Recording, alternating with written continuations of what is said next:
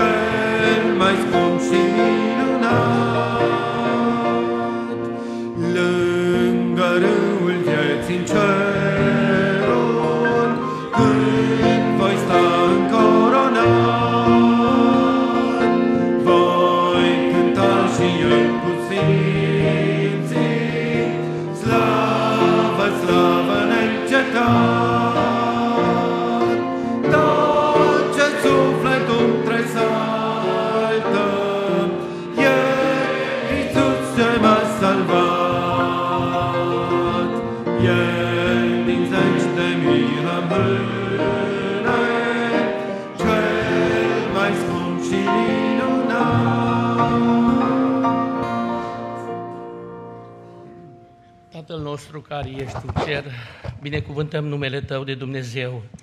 Ne închinăm înaintea Ta, mulțumitor pentru ziua asta, da. pentru timpul ce ne-l dai să fim împreună. Da. Am venit aici în numele Fiului Tău și te rugăm în numele Lui să-ți pui mâna peste viețile noastre. Binecuvintează orice suflet venit la închinare. Doamne, și cu binecuvântarea Ta te rog să te duci la cei ce sunt suferință și sunt de adunarea noastră și nu numai. Doamne, Tu ne ești destul pentru viața asta, și pentru veșnicia la care ne aștepți. De aceea, toată închinarea să fie a ta, toată slava, toată cinstea, ne unim aici și cinstim numele Tău. Mulțumim pentru cuvântul care ne-l dai după masa asta, pentru fratele Bodeș. Binecuvintează-l. Și până la predicarea cuvântului și slujirea care este înainte de asta, Doamne, să o sfințești Tu. Mulțumim pentru cei care vor să ne slujească. Da. Mulțumim pentru prietenii care au, au primit invitația noastră și sunt împreună cu noi. Doamne, special, să-i atingi cu Evanghelia. Am vrea în seara asta să se întâmple lucruri mari. Doamne, Tu ești Dumnezeu mare. Fă lucruri potrivit cu statura Ta. Glorie ție.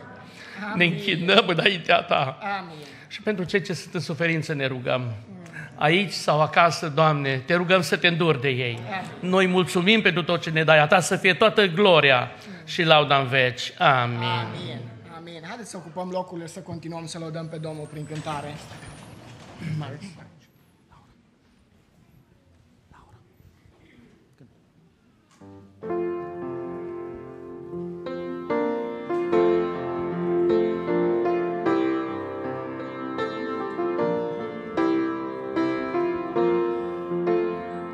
Speranța mea e în Iisus, Far luminos pe calea mea, e adăpost, e stânca mea, tare în furtun și vreme rea.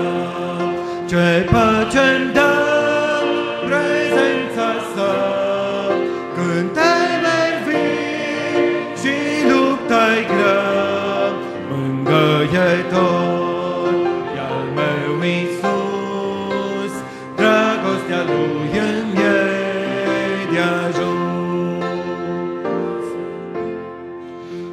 Iisus Hristos, cel întrupat, slava cerească a părăsit, divinul dar neprețuit, de păcătos disprețuit. Iisus murit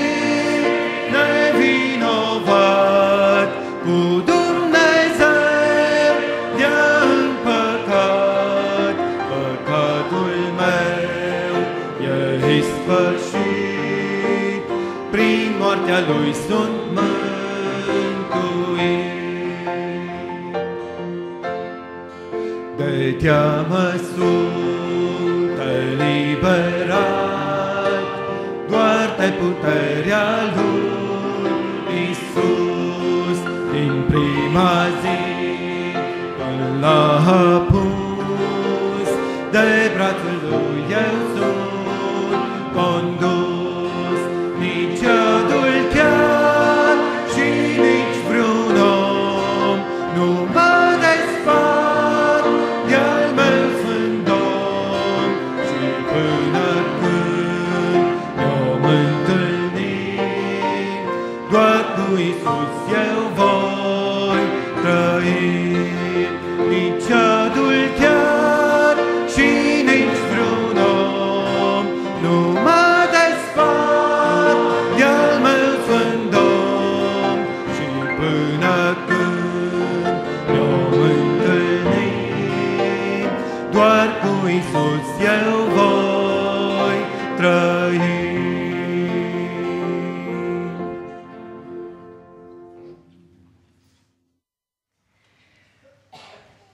Leproșii, ajungând la intrarea taberei, au pătruns într-un cort, au mâncat și au băut.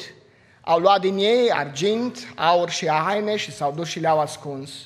S-au întors iarăși, au pătruns într-un alt cort și au luat și de acolo lucruri pe care s-au dus și le-au ascuns. Apoi au zis unul altuia, nu facem bine. Ziua aceasta este o zi de veste bună. Dacă vom tăcea și dacă vom aștepta până la lumina zilei de mâine, vom fi pedepsiți. Veniți acum și haidem să dăm de știre casei împăratului. Amin. Sunt două versete pe care le-am citit din Vechiul Testament, din cartea a doua a împăraților, capitolul 7, versetele 8 și 9.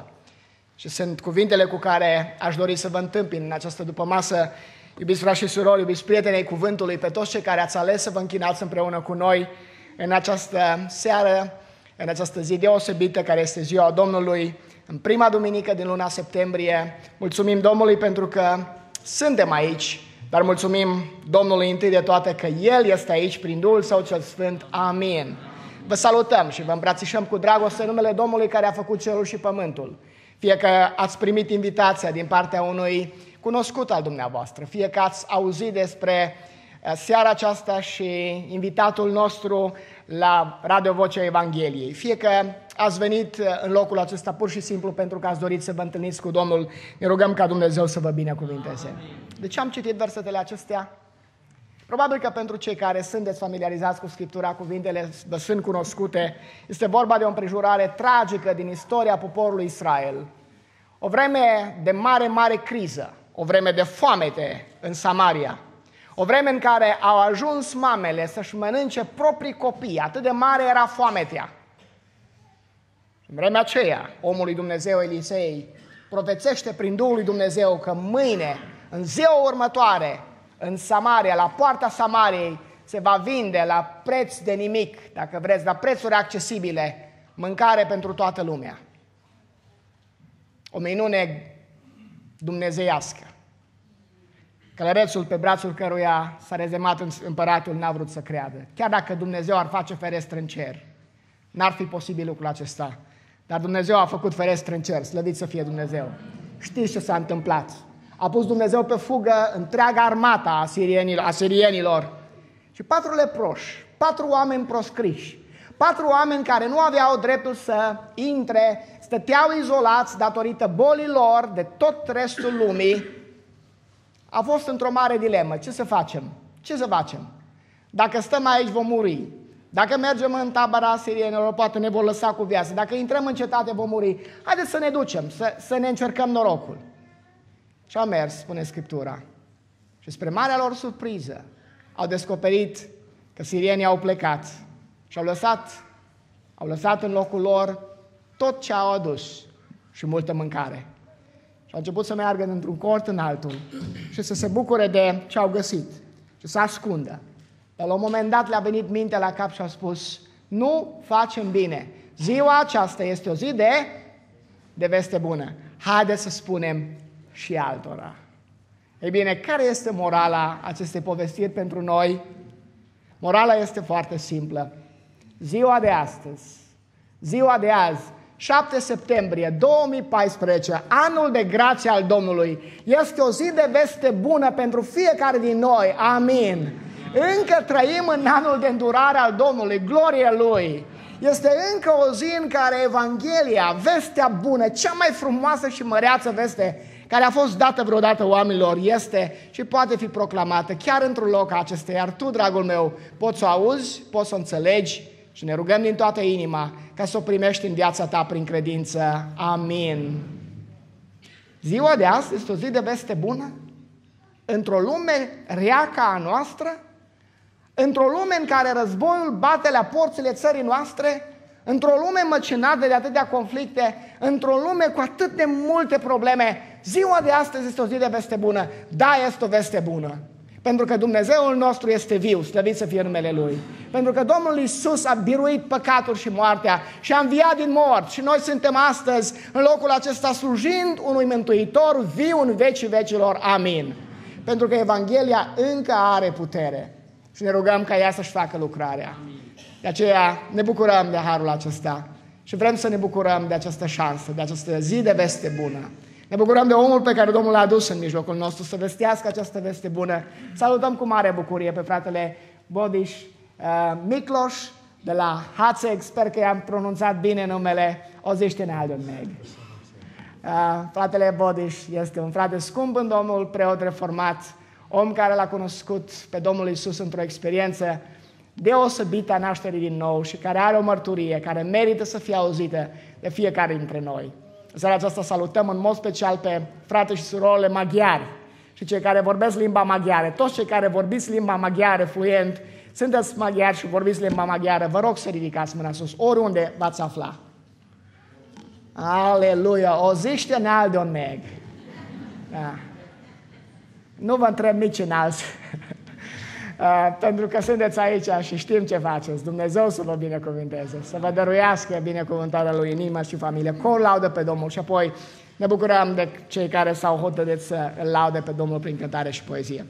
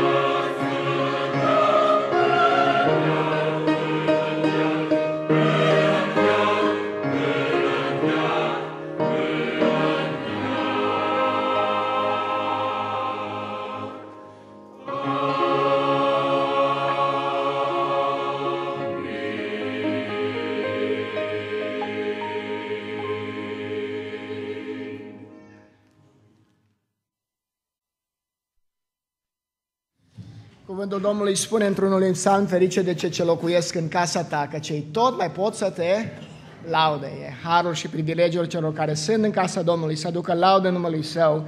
În seara aceasta ne bucurăm de tinerii care s-au pregătit să laude pe Domnul prin cântare, prin poezie.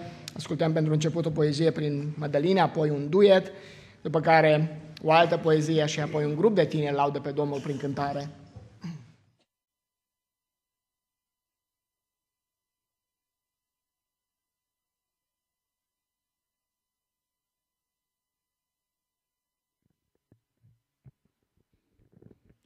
Nu suntem un vis, o întâmplare, un lut de sine însuși frământat.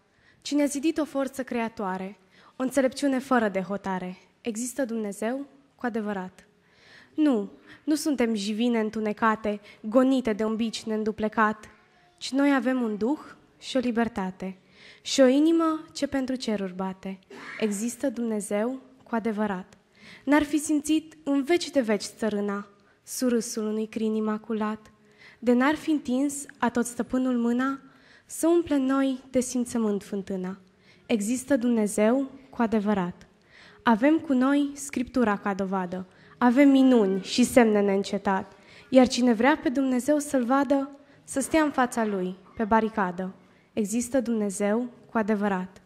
Nu-i calea noastră veșnic însorită, nu-i viața totdeauna în palat, dar o trăim, căci merită trăită. Când peste lumea asta mărginită există Dumnezeu cu adevărat. Nu, nu suntem neant, ce fericire! Supremul adevăr s-a relevat. Isus e noi, lumină și iubire, iar moartea e un zbor spre nemurire. Există Dumnezeu, ce minunat! Amin.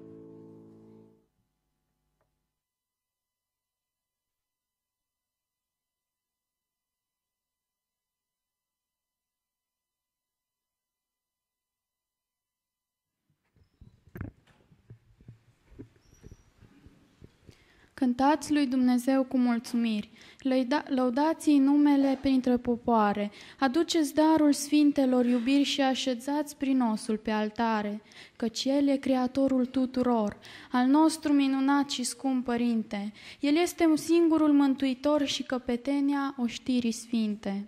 Cuvântul lui, puternicul cuvânt, el dătător de viață și lumină, străbate cu iuțeală pe pământ ca să împlinească voia lui divină. El ține cerurile în mâna sa și numără a stelelor o știre și vine lângă noi ca să ne dea iubire, viață, pace, fericire. Da, mare este Dumnezeu cu adevărat, tăria Lui să fie în veci slăvită și numele Lui binecuvântat acum și în veșnicia nesfârșită. Amin.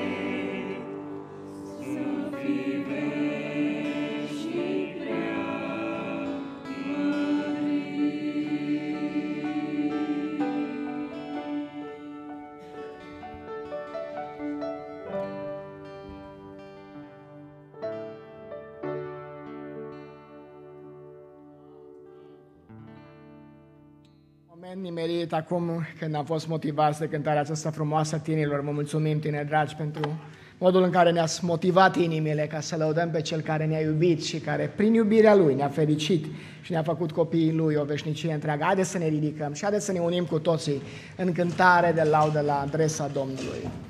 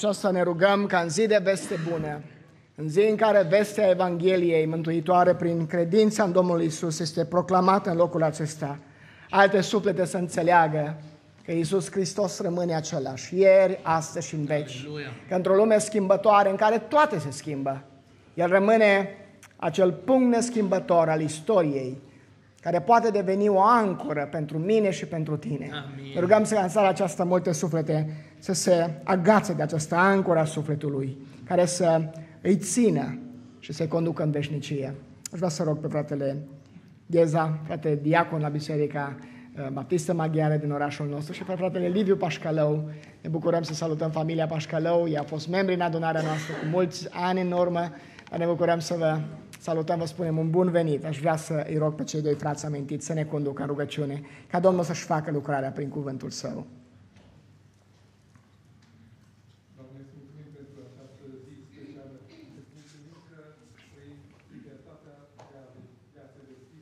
Slavă ție, Doamne!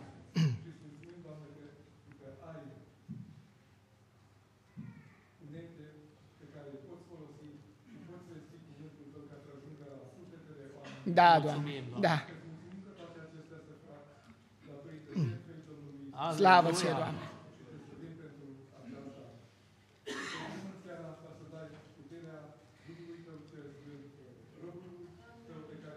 Amin. Amin. Te rugăm. Da. Mm. Mm. Mm. Mm. Da. Mm. Amin.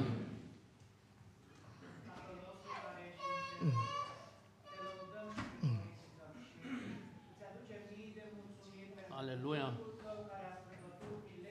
Da. Slavă ție, slavă ție, Doamne. Mulțumim pentru Da. Dumnezeu care a făcut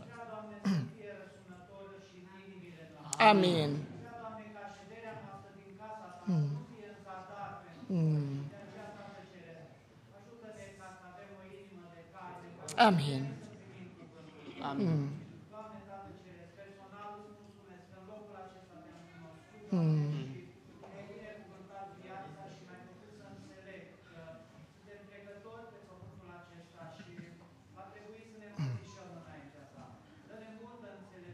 Amin. Amin. Amin. Amin.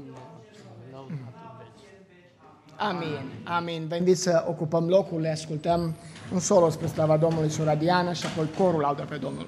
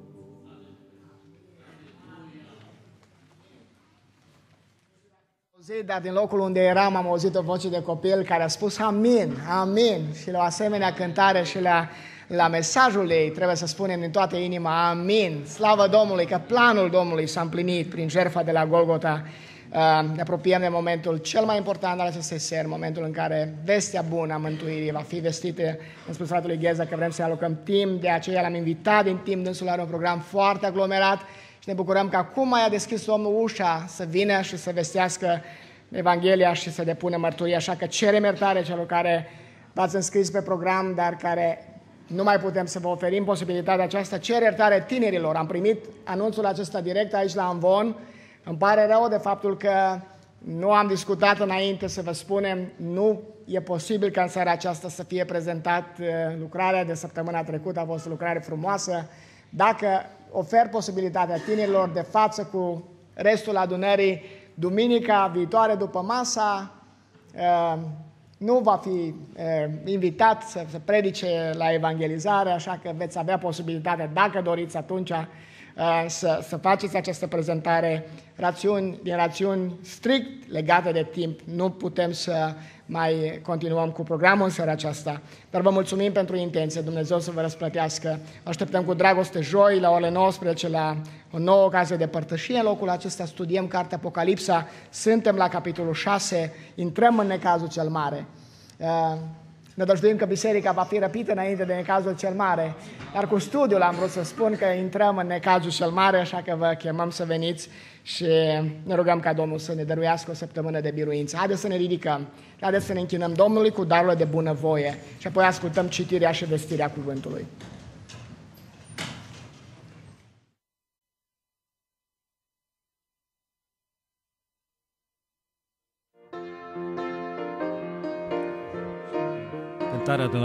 Numărul 202. Vrei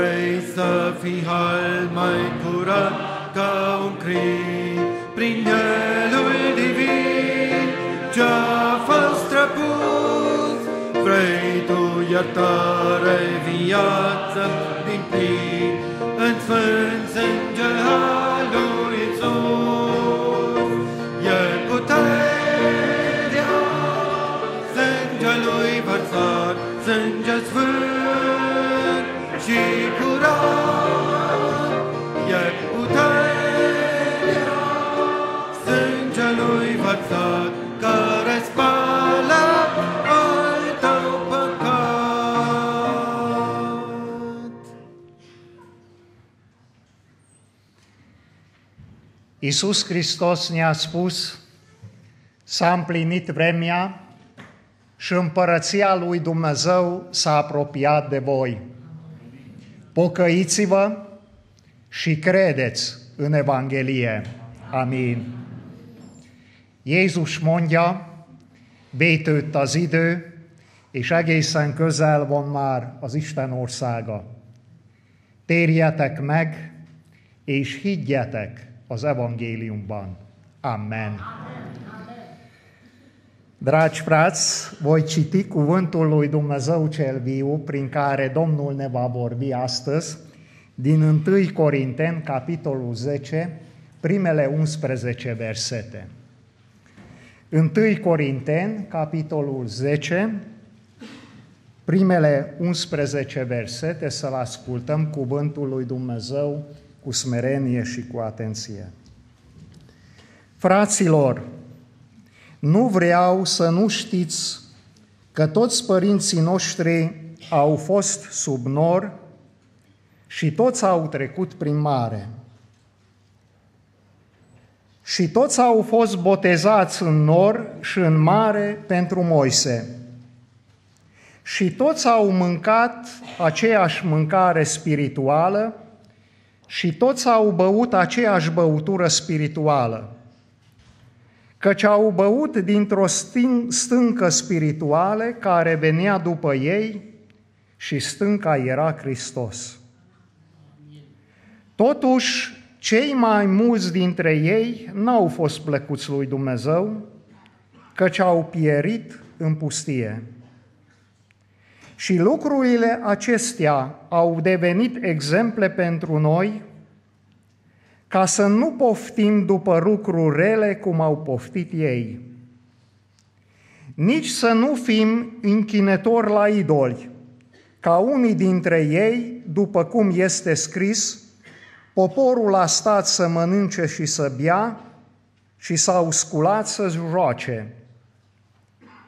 Nici să nu comitem adulter, cum au făcut unii dintre ei, și într-o singură zi au căzut 23 de mii. Nici să nu ispitim pe Hristos, cum l-au ispitit unii dintre ei și au pierit prin șerpi. Nici să nu murmurați, cum au murmurat unii dintre ei și au fost nimiciți de nimicitorul. Și toate aceste lucruri li s-au întâmplat ca să ne fie exemple și au fost scrise pentru învățătura noastră, peste care au venit sfârșiturile viacurilor. Amin. Să stăm în rugăciune în fața Domnului și să cerem binecuvântarea Lui.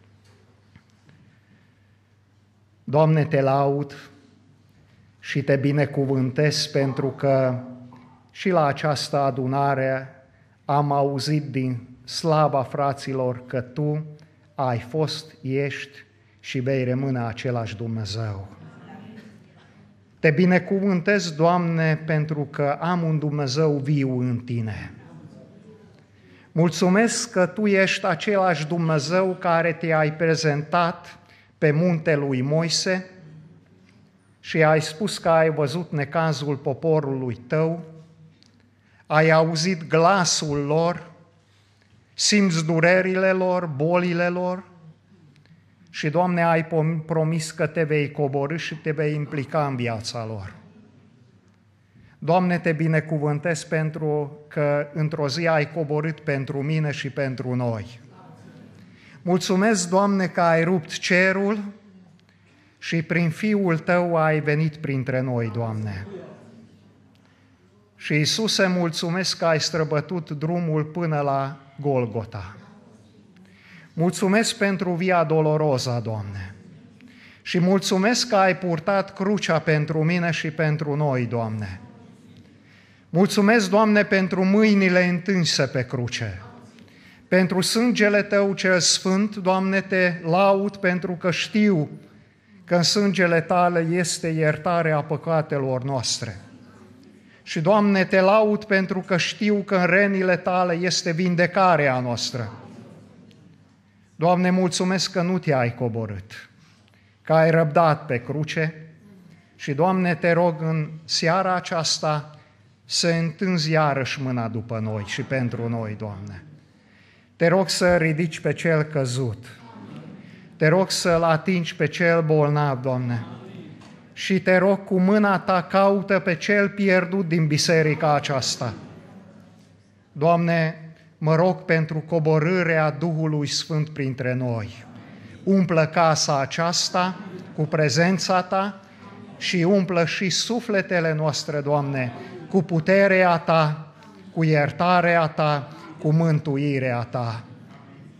Chemem și cerem prezența Ta. Doamne, binecuvântează-ne adunarea noastră și vorbește-ne nouă din cuvânt. Amin. Ocupați locurile.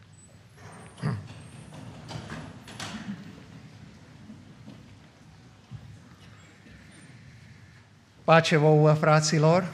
Fiți binecuvântați în numele Domnului Isus Hristos. Mă bucur că am ajuns și la Timișoara să predic cuvântul lui Dumnezeu printre voi și pentru că nu vă cunosc, sunt prima oară la predică la Timișoara, am mai fost prin Timișoara și nu vă cunosc, că fratele uh, a întrebat câți maghiari sunt la adunare și s-au ridicat mâna uh, frații din Biserica Maghiară. Eu vă întreb uh, câți pocăiți botezați sunteți în biserică, să ridicați mâna. Slăvit să fie Domnul! Întrebarea următoare, când v-ați botezat, care dintre voi a lăsat ca apa să intre și în gură? Să ridice mâna. Deci înseamnă că limba n-a fost botezat. Și vă întreb dacă inimile voastre sunt tăiate împrejur. Amin? Pentru Domnul. Știți de ce vă întreb?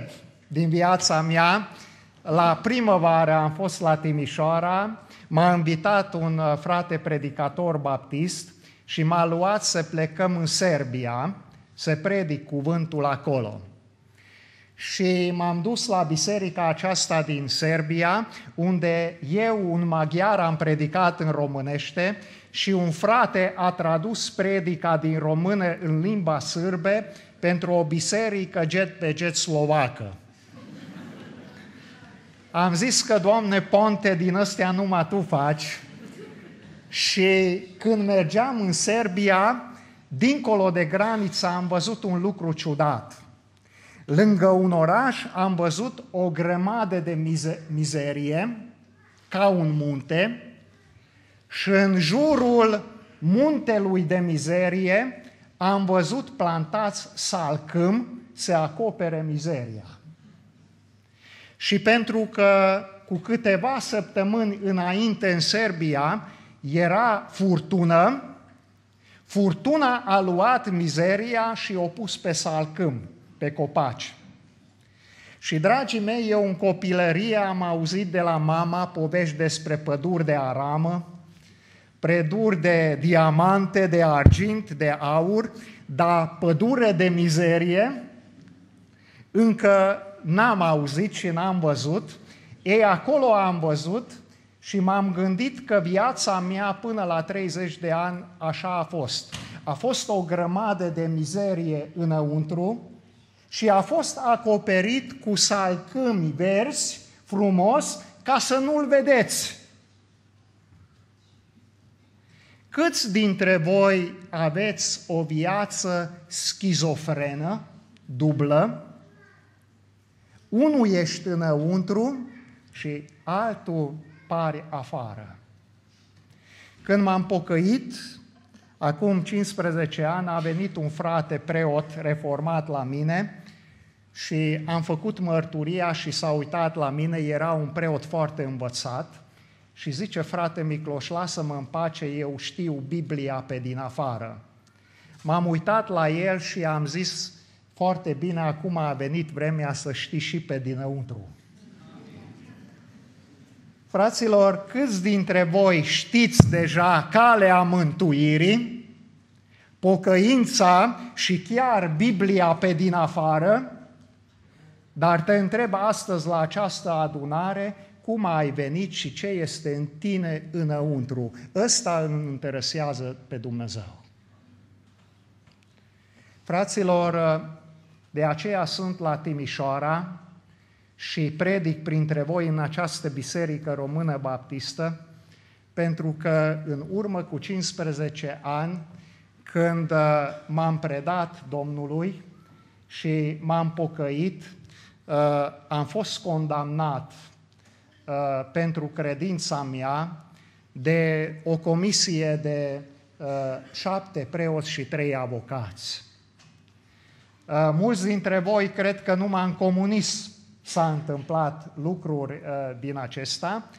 Nu, eu pot să vi-l arăt, am un act de 8 pagini, semnat de șapte preoți reformați și de trei avocați, în care mă condamne pentru dezbinarea bisericii și scopul uh, care este trecut acolo este fapt, doar faptul acela m-au prigonit doi ani, m-au cercetat și în privința banilor și în privința slujbei, n-au găsit nicio vină. În actul acesta este doar scris uh, un singur, o singură propoziție pen, uh, pentru pocăința lui, pentru naștere din nou a lui, l-a rupt biserica, satul în care nu era până atunci niciun pocăit, l-a rupt în două părți, pocăiți și nepocăiți. Fraților, atunci am zis că și clopotura ar trebui să dăm jos din biserică pentru, pentru că împarte satul, nu? Se trag clopotul și unii vin și unii nu vin. Dar nu-i clopotul de vine pentru ăia care nu vin la mântuire, nu? Deci clopotul se trage. Cuvântul lui Dumnezeu se predică. Nu un om împarte o comunitate și un sat prin pocăința lui, ci cuvântul lui Dumnezeu.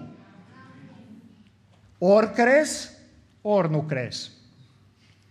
Și, fraților, ă, așa am fost cercetat pentru credința mea ă, timp de doi ani, așa m-am prezentat în fața acestui comisii și pentru că noi totuși suntem o biserică protestantă, care ar trebui să protesteze împotriva păcatului. Pentru că noi totuși suntem o biserică reformată, după Luther și după Calvin, care ar trebui să reformeze ce a deformat păcatul, concluzia și hotărârea acela a fost că totuși nu-l aruncăm pentru credința lui afară din biserică, ci îl trimitem exil într-o biserică unde nu mai sunt enoriași, sunt 1, 2, 3, cel mult 3 într-un sat din țara Hațegului, unde sunt biserici fără acoperișul, cu urzică până aici și cu porumbei și cu, cu soc, în, în, uh, în biserică și cu familia lui de patru persoane, el va ceda singur, va renunța singur. Și fraților, acum 15 ani, ca și Avram, am luat familia și neștiind unde să mă deplasez, uh, unii frați au zis, uh, am zis, n-am auzit de țara Ațegului niciodată în viața mea a venit un frate și a zis, frate Micloș, am auzit că acolo este ceva rezervație de zimbri. Am zis, Doamne, în locul ăsta mă bagă într-o rezervație, sunt o specie rară. Și, fraților, am coborât în țara Ațegului și îmi pare rău, soția se scuză și fetele, ar fi vrut și ei să vină să cântă și să lăudăm împreună cu Domnul, dar mâine trebuie să ne mutăm și să plecăm la, la Cluj, începe școala, dar eu unul singur, după 15 ani, stau aici în fața voastră. Și uitați-vă la mine. Încălțămintea nu mi este ruptă. Și haina nu mi este deteriorată. Știți de ce? Pentru că Domnul este credincios și va rămâne până la capăt. În uh, ziua în care am primit condamnarea în mână, a venit Dumnezeu și a zis, Iacove, Iacove, nu te teme să te cobori acolo, căci eu mă voi duce cu tine. Și în seara aceea Dumnezeu m-a întrebat, Micloș, îți este de ajuns ca eu, Dumnezeu la tot puternic, îți promit că mă duc cu tine în țara Hațegului. Sau îți trebuie bodyguards? Îți trebuie o valiză de euro? Să ai siguranța zilei de mâine. Și în seara aceea am plecat capul și în lacrimi am zis, Doamne, mie nu-mi trebuie altceva decât Tu să vii și să mă binecuvântești și să fii cu mine. Și fraților, cei care vă purtați griji pentru ziua de mâine, în seara aceea am făcut un legământ cu Dumnezeu. Știți care a fost legământul? Doamne, dacă într-o săptămână îmi vei da pentru familia mea de patru persoane o cutie de margarină Rama și pentru fiecare zi o franzele pentru familia mea de patru persoane, Doamne, eu nu mă lepăd de Tine. Și fraților, de 15 ani în fiecare zi mă uit la masă. Și dimineața, și la prânz, și la cine. Și să știți că niciodată n-a fost doar o margarină pe masă și doar o franzelă. Știți care este mărturia noastră? David la bătrânețe zice, m-am îmbătrânit, mult am văzut, dar unul nu. Ca omul în credință să fie părăsit sau ca copiii lui să ajungă acolo să cerșească. Fraților, crizele economice nu sunt pentru pocăiți.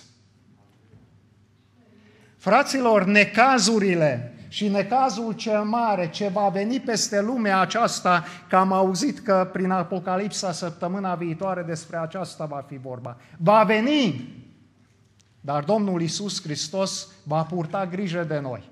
Și fraților, crizele economice nu pentru noi sunt, sunt pentru ăia care umblă fără Dumnezeu afară. Pentru noi, știți ce sunt, fraților? Sunt promisiunile din Biblie. Și promisiunile zic, chiar dacă s-ar clătina munții și dacă ar veni valuri de ape,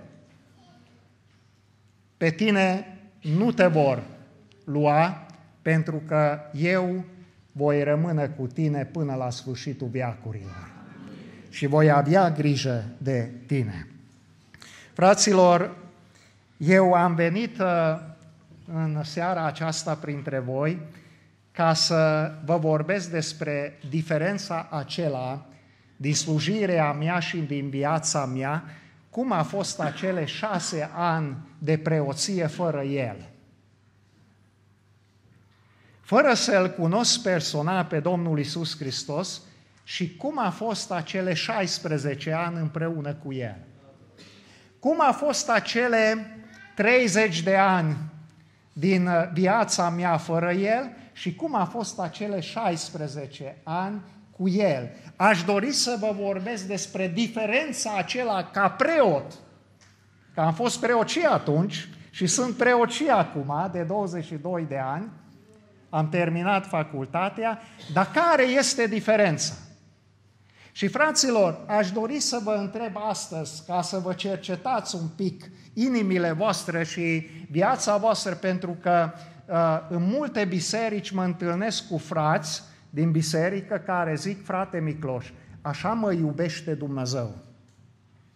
Și întotdeauna întreb, frate, dar ai iertarea păcatelor?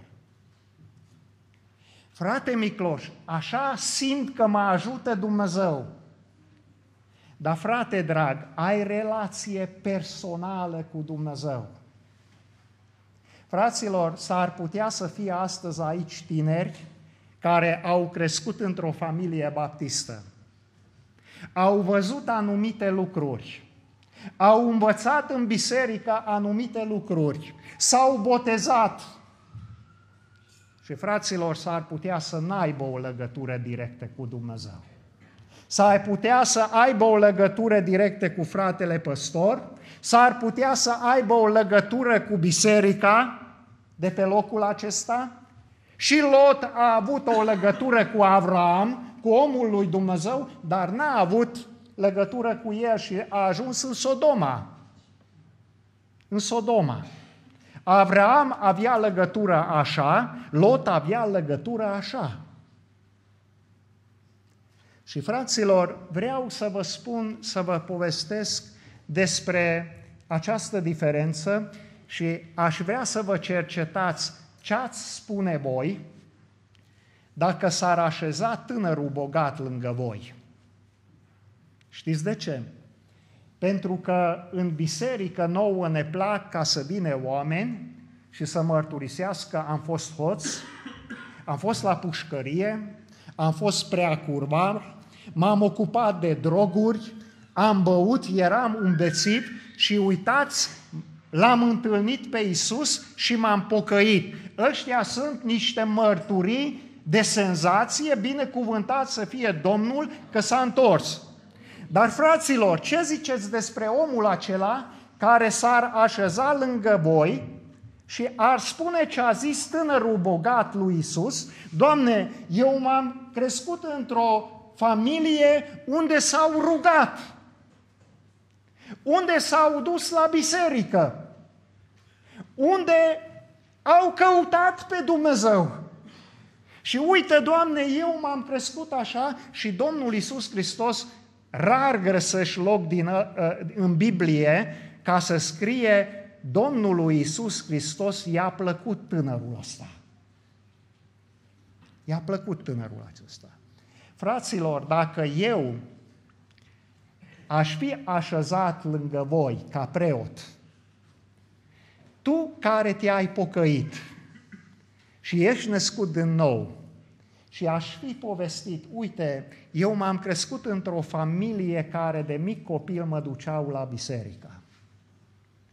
Și eu mă duceam la cursul de catechism pentru copii și mă duceam la studii de Biblie pentru tineret.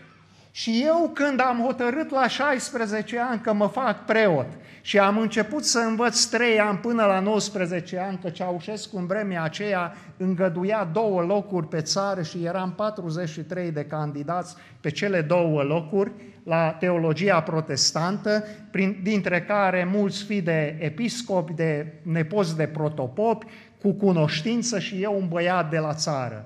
Și am început să mă pregătesc pentru facultate și fraților, vă spun sincer, pentru că mulți cred că unii s-au făcut preoți din cauza banilor. Eu în viața mea, până când eram în nepocăință, nu m-am gândit că mă fac preot și câți bani câștig. Eu la teologie m-am dus de bucurie să slujesc poporul meu, neamul meu și să slujesc biserica reformată. Ăsta aveam în gând la 16 ani. Și fraților, dacă mă așez lângă tine care te-ai pocăit și ești născut din nou de la Duhul Sfânt și a zice, eu iubesc pe Dumnezeu. Și așa era.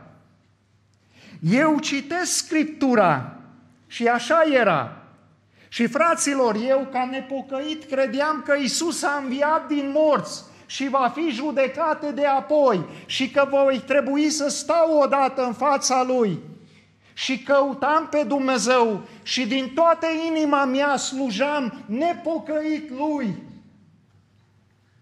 Dacă m-aș fi așezat lângă tine, tu ce ai fi zis mie? Care-i schimbarea care s-a întâmplat în viața ta? Ce ați fi zis, fraților? Cum? Dar el nu înțelege ce înseamnă să te naști din nou. Așa e. Atunci, cum explici care este diferența? Știți de ce vă întreb, fraților? Pentru că frații m-au, m-au cunoscut și am ajuns la Dezna, la acea întâlnire unde ne-am întâlnit, predicând la vocea Evangheliei. Și înregistrarea s-a făcut la Suceava, unde din România fratele Cristi Floria, un preot pocăit, nu știu dacă cunoașteți, ne-a invitat și a fost invitat 50 de preoți din România care s-a pocăit. Se pocăiesc preoții, fraților. Și rugați-vă pentru acest, pentru acest lucru. S-au predat preoți de la Vatican.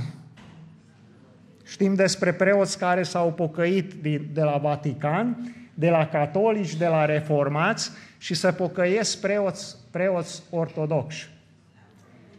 Și te întreb, ai fost condamnat vreodată pentru credința ta? Cine a fost condamnat? Nimeni. De ce, fraților? Știți de ce? Vă spun. Știți în Biblie cine nu s-au întors înapoi la Domnul Isus Hristos? Care erau bolnavi, leproși, au fost vindecați și Domnul Isus Hristos ce a zis? Să te duci la o biserică unde sunt pocăiți?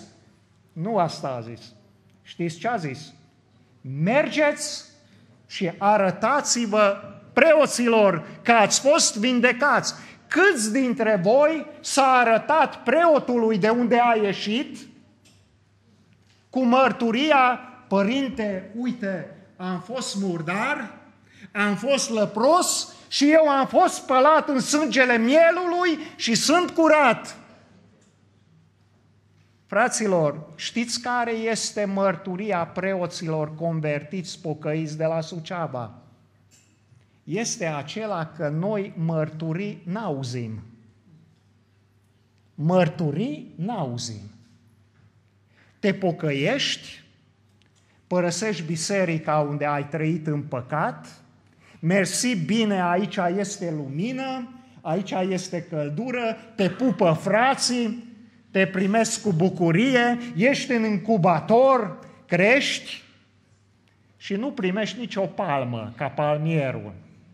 Că palmierul crește sub tensiune. Și fraților, noi preoții care ne-am făcut preoți fără naștere din nou, cu bună voie, nu auzim mărturii. Vedem că oamenii s-au dus la pocăiți, s-au dus la o biserică baptistă pentecostală și dacă se întorc și spun, părinte, pocăiește-te, faci comparație, pocăința este de a părăsi biserica.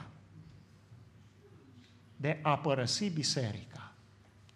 Fraților, de aceea, pentru că noi ne-am adunat acolo și uh, acolo am avut mărturii, am schimbat mărturiile, cum totuși Dumnezeu s-a îndurat de noi și de aceea sunt printre voi. Ei, dacă nu mă pocăiam, nu mă vedeați voi astăzi pe mine aici să predic în românește în această biserică, nici prin gând nu, nu-mi trecea, slăvit să fie Domnul, că a intrat în viața mea, că m-a schimbat, s-a implicat în viața mea și de aceea aș dori, fraților, să vă vorbesc unora care se așează așa lângă tine și spun că îl iubește pe Dumnezeu. Că poate că sunt unii astăzi aici care zic, părinte, eu nu m-am pocăit, nu sunt născut din nou, dar am venit aici în biserica aceasta pentru că îl iubesc pe Dumnezeu. Pentru că caut pe Dumnezeu. Pentru că cred că Scriptura 100% e adevărat și cred că Isus a înviat din morți și că trăiește și că va veni judecata de apoi. Dar spune Părinte, ce ar trebui să schimb în viața mea, că sunt cinstit, nu fur, nu prea curvesc, cum a zis tânărul bogat. Cum a spus tânărul bogat, ce ar trebui să se schimbă în viața mea? Fraților, și asta spun păstorilor și acelora care ați cântat așa de frumos, cunoșteam cântările astea în maghiară, Via Dolorosa și cântarea care ați, ați cântat, uh, aproape toate, uh, toate îl cunosc în, în limba maghiară și vreau să vă spun cerul la care slujiți în anumite biserici că viața mea s-a schimbat profund. Slujirea mea s-a schimbat profund atunci când din Scriptură am citit că în Israel erau două feluri de preoți. Era un fel de preot care sluja casei Domnului și era al doilea fel de preot care sluja Domnului. Fraților, cui slujiți? Pentru biserică? Astăzi pentru cine ați cântat? Pentru cine ați depus mărturie aici? Pentru cei care sunt în biserică? Când vă rugați, cum vă rugați? O, e aici fratele meu și mă audă cum mă rog. Sau, fraților, slujiți Domnului, predicați Domnului, cântați Domnului și faceți mărturie că Domnul este aici și audă. Fraților, pentru cine slujești? Pentru casa Domnului și clădești? Sau slujești pentru Domnul?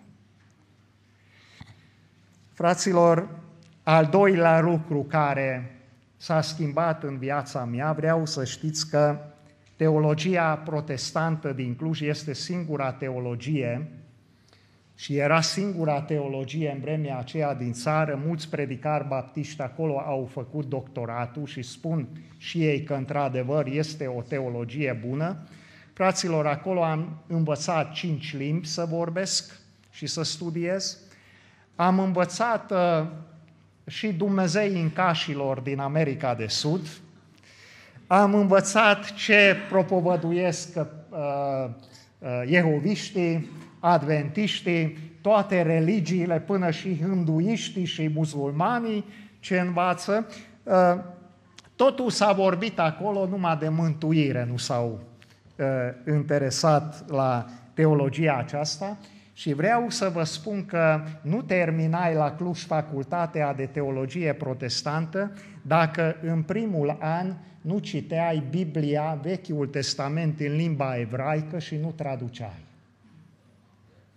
Și nu treceai anul 2 dacă nu vorbai limba greacă și nu traduceai Noul Testament. Trebuia învățat silabele, cuvintele, Uh, din, din limba respectivă. Și nu uit niciodată, în primul an, uh, profesorul de, uh, de limba evraică, primul lucru care ne-a învățat să traducem și să rostim era cele zece porunci. Vaiodaber Elohim et kol, hadebarim haele lemor. Anochi Iave Eloheika Ösher Hoțetica, mi Eretz Mitzraim, mi Beit Öbadim, lo Yichielöka Elohim Ökerim Alpanai. Nu zâmbiți, știu că nu înțelegeți nimic. Nici nu pentru ăsta v-am spus cuvintele acesta din limba ebraică, ci vă rog să ascultați melodia. Încă o dată spun. Vaiodaber Elohim et kol hadebarim haele lemor. Anoki Yave Eloheika Ösher Hoțetica mi Eretz Mitzraim mi Beit Öbadim. Ce vi se pare interesant? Nu vi se pare nimic? Fără înțeles. E ca o poezie de Eminescu E ca o poezie de iubire lângă plopii fără soț a lui Eminescu. Și fraților vă spun că este o poezie de iubire. Eu, Domnul Dumnezeul tău, sunt Domnul acela care te-am scos din Egipt, din robie, care te-am salvat de acolo, tu să nu ai alți Dumnezei în afară de mine. Ăsta am rostit mai înainte. Și fraților, vine lourile. Lo ihielöka, lo tirțaf, lo tinaf, lo fel, adică nu, nu, nu. Lo înseamnă în limba evraică, ca să facem un pic de curs de limba evraică, lo înseamnă nu. Dar, fraților, la teologie n-am fost învățat, a trebuit să-mi spune lucrul acesta un predicator evreu din București, care a fost închis 14 ani în temnițele comuniste. Cine a fost acela? Amin. Richard Bumbrandt îmi spunea că lo mai înseamnă din limba evraică ceva. Și în limba română sunt cuvinte cu dublu înțeles, nu? Sunt. Lo mai înseamnă ceva. Și știți ce înseamnă lo? Lo înseamnă nu numai cuvântul nu, să nu furi, să nu ucizi, să nu prea curvești, ci lo înseamnă din limba evraică tradus numai a lui. Lo tirțav, să nu furi, că ești a lui. Lo tirțav, să nu prea curvești, pentru că tu ești a lui. Lo te fel, să nu poftești soția altuia și banii altuia și mașina și casa altuia, pentru că tu aparții de el. Și fraților, să vă explic diferența în viața mea după pocăință. Știți ce era? Era că înainte de pocăință eram și a lumii și a lui. Doream să slujesc și lui Dumnezeu ca preot, dar trăiam în pofte, în nedei, în chermezea, în jocuri, în dansuri, în băuturi, în pofte, nu eram numai a lui. Dacă ar trebui să-ți explic acum viața mea cu Domnul Isus Hristos, primul lucru care aș zice ție, care ești aici nepocăit, în seara aceasta, în biserica aceasta, te întreb, ești numai a Lui? Ești numai a Lui? Fraților, vă rog să vă uitați la banul acesta. Dacă intru cu banul acesta într-un supermarket aici la Timișoara să cumpăr o ciocolată și banul acesta este tipărit, doar partea aceasta, și partea aceasta a banului nu este tipărit, banul este aruncat înapoi și zice ă, ăla care stă acolo e fals. Dacă banul acesta este tipărit, partea aceasta și partea asta nu-i tipărită, iarăși aruncă înapoi și zice e fals, nu are nicio valoare. Banul acesta are doar valoare atunci și când și partea aceasta și partea aceasta este tipărit. Dragii mei, așa este și cu pocăința. Pocăința are două laturi. Prima latură a pocăinței este un hotărât da și latura a doua a pocăinței este un hotărât nu. Ce este prima latură a pocăinței? Este acel da pe care se produce atunci când, cum am auzit în rugăciunea fratelui care s-a rugat, într-o biserică, la o evangelizare, la o predică, Domnul Isus Hristos prin cuvânt te cheamă la pocăință, să-L urmezi și tu zici, Doamne Iisuse, da, eu mă predau și urmez pe tine și slăvit să fie Domnul, că știu că în seara asta sunteți mulți care ați făcut pasul acesta. Dar, fraților, aceasta este numai latura numărul unu a pocăinței. Latura a doua a pocăinței este un hotărât nu. Un hotărât nu pentru lume. Pentru lume. Și, fraților, de aceea nu văd trezire în biserici, în anumite biserici, pentru că frații din biserică n-au făcut pasul acesta al doilea. Și de aceea vine apostolul Domnului Isus Hristos Iacov și pentru român traduce foarte dur Biblia și spune așa, suflete prea curvare. Auzi ce zice Iacov. Suflete prea curvare, voi nu știți că prietenia cu lumea, ce este, fraților? Vrăjmășie cu Dumnezeu. Fraților, acum întrebarea este, a cui prieten vrei să fii? Dacă vrei să fii prietenul lui Isus, pierzi lumea. Și trebuie să zici un hotărât nu lumii. Dacă vrei să păstrezi ceva și din lume, pierzi pe Dumnezeu. Pe doi domni, nu, nu poți, nu, nu îl poți sluji.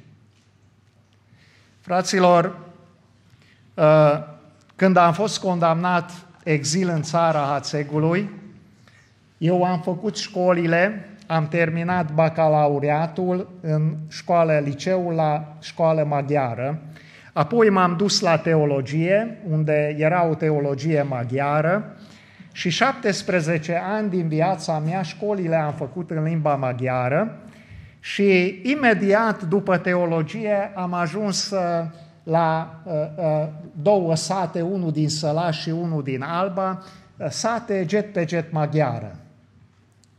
Și acum 15 ani am coborât în țara Ațecului neștiind bine vorbi, să vorbesc românește. Ceea ce ascultați în seara aceasta de la mine nu-i de la mine, este de la Duhul Domnului. E să fie slăvit. Și fraților, când am coborât în țara Hațegului, nu știam de ce Dumnezeu mi-a dat Biblia aceasta în mână, în limba română, și mă trezea în fiecare dimineață la 5 fere un sfert. Și la 5 fere un sfert coboream în bucătărie și am scos două scaune. E interesant, avem ace- aceeași scaune ca și aici, în bucătărie. Și am pus scaunele în fața mea și pe un scaun am, am pus Biblia română și pe celălalt scaun Biblia maghiară. Și la ora 5 am pus bureț în fața scaunului și la ora 5, printre cele două scaune, stăteam în genunchi până la ora 7 dimineața și vorbeam cu Domnul. Timp de cinci ani, toate bisericile reformate maghiare s-au închis în fața mea. Era tare curajos acela care a avut îndrăzneala să mă invite la evangelizare. Cinci ani nu s-a întâmplat nimic. N-a venit nimeni să mă invite la predică. Colegii mei m-au părăsit și stăteam acolo la Hațec, singur, cu familia, cu parohia crăpată, cu biserici fără acoperișuri și căutam pe Domnul. Și stăteam acolo până la ora șapte dimineața și vorbeam cu Domnul. La ora șapte m-am ridicat, am trezit fetițele, am pregătit la școală, l-am dus la școală pe ei și de la ora 8 până la ora 10, împreună cu soția, iarăși citeam cuvântul Domnului, ne rugam cu soția, așa mă bucur că am o soție să roagă o oră și ceva. Îl ia localitățile pe rând, că Doamne, la Timișoara e fratele, ăla e bolnav, la Aiud ăla, nu știu de unde scoate, că eu uit. Și stăteam în rugăciune, am cântat și fraților, la ora 10 deschideam ușa parochiei, treceam pragul și era putere și era putere. Știți de ce? Pentru că binecuvântarea nu depinde, frați păstori, de evangelizări. Noi n-am fost chemați oamenii și creați de Dumnezeu să evangelizăm. Noi am fost creați să lăudăm pe Dumnezeu, nu? Amin?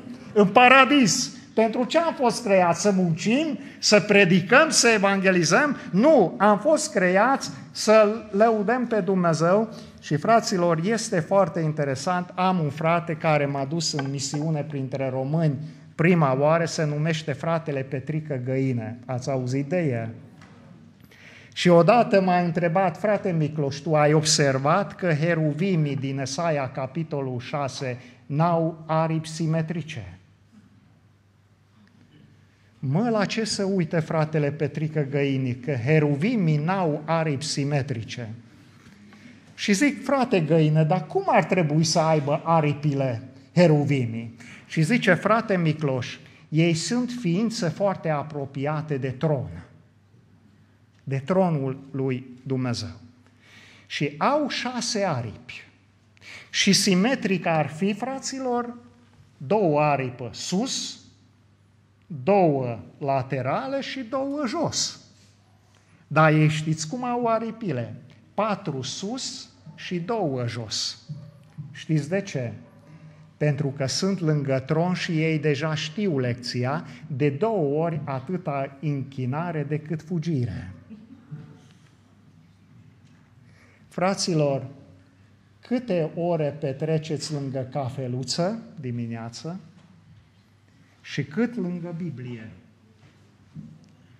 Câte ore petreceți la lângă bârfe, telenovele, văd că unii frați deja după trei ore de evangelizare să uite la ceas. Zic, fraților, nu s-a, între, nu, nu s-a încetat uh, finala Barcelona-Steaua. Că fraților, acolo 90 de minute jocul, 12, 2 uh, ori 15 minute prelungirile, apoi vin 11 metri să pupă cupa și 3 ore 40 și tu nu te ridici din fotoliu.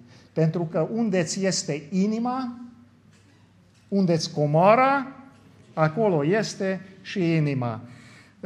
De aceea n-am putut, fraților, veni mai repede printre voi pentru că am cedat fizic. În, de la 17 ianuarie până în 4 mai, eu n-am avut seară liberă.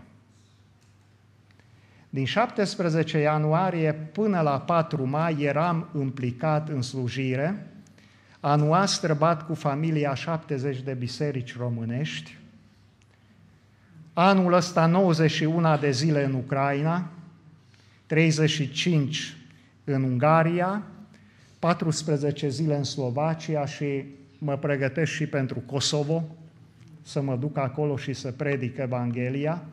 Și fraților, de multe ori aveți grijă că Duhul e pregătit, dar trupul e slab și cedează și trebuia să fac o mică pauză. Astăzi, printre voi, încep campania de toamnă și rugați-vă ca Domnul să-mi dea putere, să pot merge în multe părți.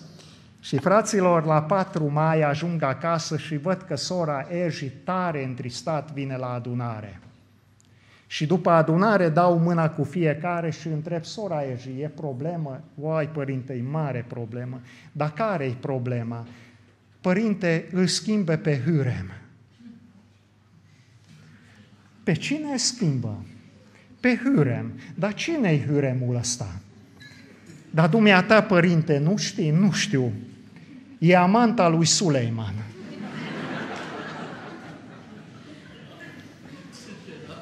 Fraților, zâmbiți e bine. Acum câteva zile am fost lângă Sibiu și acolo am auzit și mai și mergea Caracatița la televiziune și venea o soră la adunare, zice fratele păstor care e și profesor la teologia baptistă din București și zice frate Miclos s-a așezat și tare îngândurat a început să se roage Doamne Iisuse, da te rog să descoperi pe ăla care l-a ucis pe Catanii.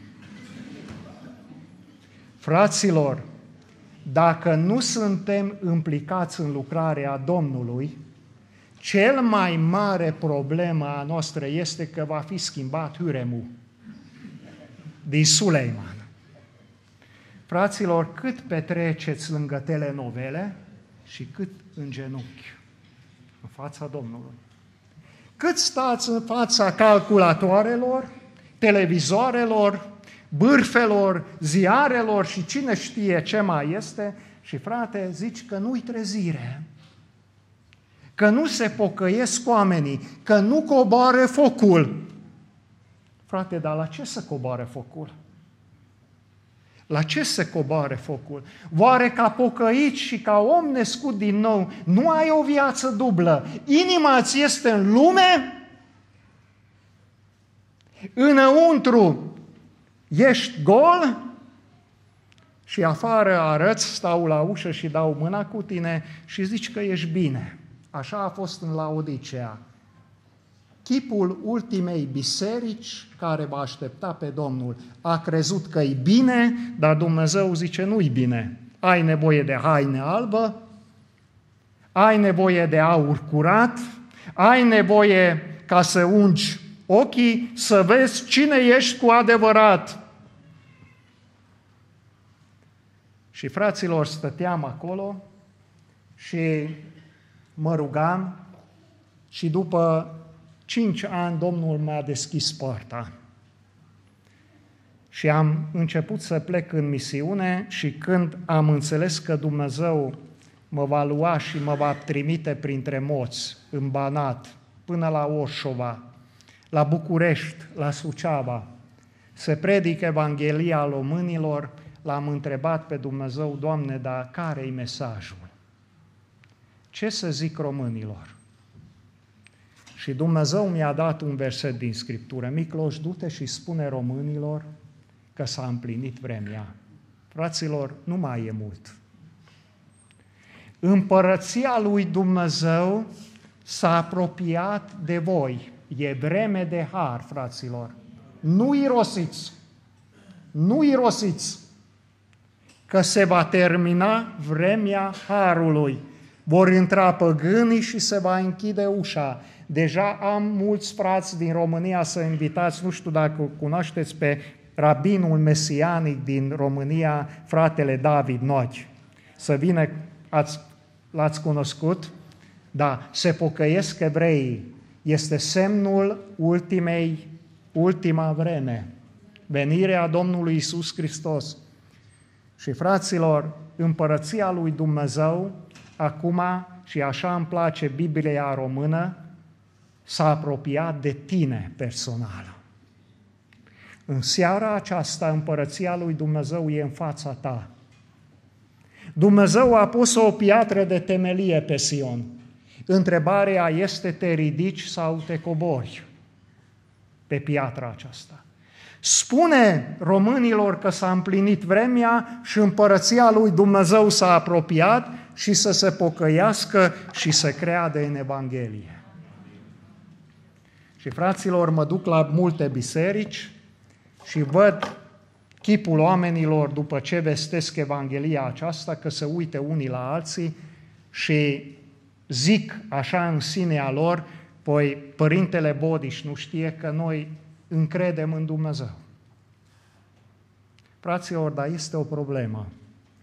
Noi în biserica noastră avem o cântare și poate că și voi știți, cântarea aceasta, medicul bun să apropie, preotul mare, cine este?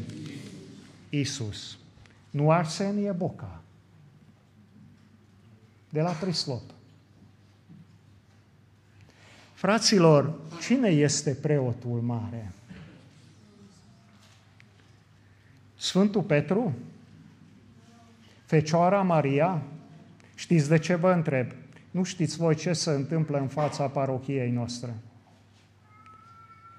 Zilnic 80 de autobuze din Mehedinți, din Prahova, din București, din Iași, din Suceava, 700 de kilometri parcurs, 12 ore, vin la Prislop să așterne maieurile, se pune pe mormântul lui Arsenie Boca. 80 de mașini zilnic și vreo 2000 de mașini în fiecare zi că nu poți să treci strada. Hațegul, toată strada este plin cu floare. Toată lumea din Hațeg vinde flori de un an. Toate casele aproape s-au făcut pensiuni pentru ăia care vin la mormântul lui Arsenie Boca. Fraților, o țară umblă să meargă să întreabă pe cei morți. Care va fi urmările? Haideți că vă citesc, deschideți Biblia la Isaia, capitolul 8, versetul 19. Dacă vi se va zice, mergeți și întrebați morții, voi să spuneți, nu va întreba oare poporul acesta pe Dumnezeu său? Va întreba pe cei morți în, în loc de cei viu. Și uitați urmările. Și dacă nu vor vorbi așa în țara aceasta, va pribegi poporul în țară, apăsat și flământ, Și când îi va fi foame, se va mânia și va blestema pe regele, oricine va fi președinte va fi blestemat, oricine va fi premierul guvernului României va fi blestemat, oricine va intra în Parlament va fi blestemat, pentru că, fraților, datorită urmărilor, noi ne-am învățat să blestemăm pe conducătorii noștri în loc să ne rugăm pentru ei, fraților. Să ne rugăm pentru țara aceasta. Și pentru că va blestema pe regele și va blestema pe Dumnezeu său, uitându-vă în sus, dar nu va veni nimic de sus. Și atunci zice, apoi se va uita spre pământ, cu depresie. Se va uita spre pământ și iată, nu va fi decât necaz, întuneric, mâhnirea suferinței și se va vedea în întuneric cu besna. Fraților, de aceea vă întreb că în Ungaria numai de Fecioara Maria să nu atingi. Până atunci evangelizările merg bine. Dar când încep să atingi de idoli, oamenii devin ca Mica și mie atunci ce-mi rămână? Fraților, Dumnezeu Tată, Fiu și Duhul Sfânt este Dumnezeu viu. Amin? Amin. Fraților, Arsenie Boca este un om mort. Poate că el a fost sfânt cândva, a trăit o viață sfântă. Fecioara Maria e moartă. Sfântul Petru nu este Duhul Sfânt. Sfântul Anton nu este Isus Hristos. Sunt persoane separate. Medicul bun să apropie, preotul mare. Cine este? Și dacă Isus este preotul mare, atunci tu de ce te umbli în altă părți? Fraților, la doilea cântare pe care avem noi și aveți și voi, de păcat ce m-ar spăla? Numai sângele lui Isus. Amin?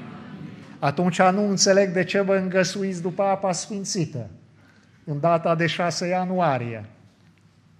La ce bun? Fraților, să gândim aici ce vorbim. Pentru că Domnul Isus zice, Dumnezeu zice, poporul ăsta cu gura e aproape, dar cu inima este departe. Dacă numai sângele Domnului Isus Hristos te spale de păcat, atunci numai în, Dom- în sângele Domnului Isus Hristos să te încrezi. Și fraților, eu pentru ăsta am fost chemat să predic vouă, ca să credeți în Evanghelie. Că numai El, numai Isus, poate să vă izbăvească, poate să vă întoarcă și să vă dea iertarea păcatelor. Dacă nu, vei fi un om care va șchiopăta în două părți, care va, fa, va ști totul, dar vreau să vă întreb, ă, să văd dacă cunoașteți Scriptura. Ce a cerut Solomon de la Dumnezeu? Nu. Nu scrie acolo în Biblie că a cerut înțelepciune. Știți ce a cerut? Doamne, dă-mi o inimă îngăduitoare care să te asculte pe tine. Și ascultând pe tine, se pot aduce hotărâri înțelepte ca să conduc poporul tău. Fraților, al doilea întrebare este acela, câți copaci era în paradis la care omul n-a avut acces? Unu, care este acele două? Primul copac, primul copac era copacul cunoașterii. Și Dumnezeu a zis să nu iei din ăla. Și omul a crezut ispita diavolului că Dumnezeu nu vrea să aibă cunoștință. Și a luat din copac, a fost alungat din paradis ca să n-aibă acces la pomul vieții. Și fraților, știți atunci care este tragedia noastră? Știință avem. Un frate îmi spune într-o biserică, frate Micloș, nepotul acum termină al treilea facultate, auzi? Al treilea facultate. Cunoștință avem. Știți ce nu avem? Viață. Am întrebat, s-a pocăit copilul? Nu. Cunoștință este?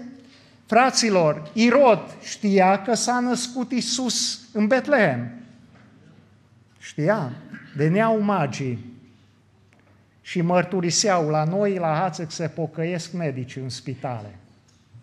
Se pocăiesc și se duc la evangelizări primari. Și vin preoți pocăiți care, vin magii și predică că s-a născut Mântuitor, că este Mântuitor. Irod știa, știa. Știți unde este Irod acum? Vă spun, cu Osama Bin Laden în iad.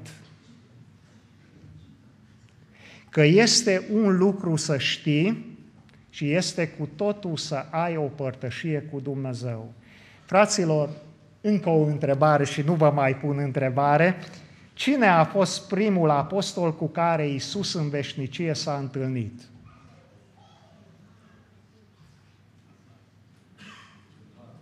Cum? Cine? El nu a fost tâlharul, el nu a fost apostol. Apostolii au fost 12. Cine era primul apostol? Aveți, fiți atenți la întrebare, cu care Isus în veșnicie s-a întâlnit. Nu. No, haideți atunci să spunem crezul. Ce zice crezul? S-a născut de Fecioara Maria, a pătimit, în timpul lui Pilat, a fost răstignit, da? A murit și... Nu, nu, nu. Înainte de înviere, între moarte și înviere, screzul încă mai zice ceva. Ce zice? A coborât în iad, fraților. Se proclamă și în iad, pentru că Domnul trebuie să fie Domn și în cer, amin, Domn pe pământ, amin, și Domn în iad, peste iad. Și el a coborât ca în iad să proclamă biruința pentru aceia care sunt în iad, că crucea a biruit. Și fraților, cu cine s-a întâlnit? Cu care apostol? Iisus, după moartea lui în iad. Cu Iuda, fraților. Și acum o întrebare groaznică, răspundeți voi în conștiința voastră. Iuda umbla cu Isus trei ani jumate. Da? Da. Iuda, după 1 Corinteni, capitolul 10, a băut din aceea stâncă ca Petru? Da, fraților, sau nu? Da. A mâncat aceeași pâine ca Andrei? Da. A văzut ca Iacov că șchiopii umblă? Că leproșii se vindecă, că orbii văd? A văzut? A ascultat aceeași evangelizare la munte sus, de la Isus, despre pocăință, da? Și fraților, cu toate știința, unde este Iuda acum? Trebuie să dea mâna cu Hitler și cu Stalin în iad și să zică am fost apostolul lui Isus trei ani jumate, am umblat cu el. Fraților, e o întrebare groaznică, fiecare acolo ajunge. Știți care este pocăința între un preot păcă... diferența între un preot pocăit și unul nepocăit? Că preotul nepocăit știe totul. Că omul nepocăit știe, dar nu ascultă. Este unul ca să știi totul. Și este cu totul altceva să ai o părtășie, o relație vie cu Domnul Isus Hristos, care a înviat și este viu și este Dumnezeu în veci. Amin. În seara aceasta te întreb, ai această părtășie reală, vie, în fiecare zi cu El. Pentru că, fraților, și copacul uscat e copac, și copacul verde e copac. Și preotul reformat fără pocăință e preot reformat și și preotul pocăit, reformat, e preot. Și ăla care s-a născut într-o familie baptistă și e baptist, e baptist, și și ăla care s-a pocăit și s-a născut din nou este baptist. Dar știți care este diferența? Că unul are rădăcina până la sursa apei, unde e izvorul, și celălalt este uscat pentru că nu are relația cu Dumnezeu. Asta este diferența. Și fraților, la încheiere, nu știu câte minute mai am, frate Mareș, mai am, pentru că frate Mareș a zis că a vorbit de mine și de pocăința mea, ă, dacă în 10 minute îmi îngăduiți să vă spun cum s-a produs această diferență. Fraților, eu m-am crescut într-o biserică reformată maghiară, unde părinții mei de mic copil mă luau la biserică și eu m-am crescut în biserică. Prima mea amintire de la patru ani este că stau într-o biserică și răsfoiesc acolo o carte și până la 19 ani de al meu m-am crescut până când am plecat la facultate, la teologie, m-am crescut în satul acesta.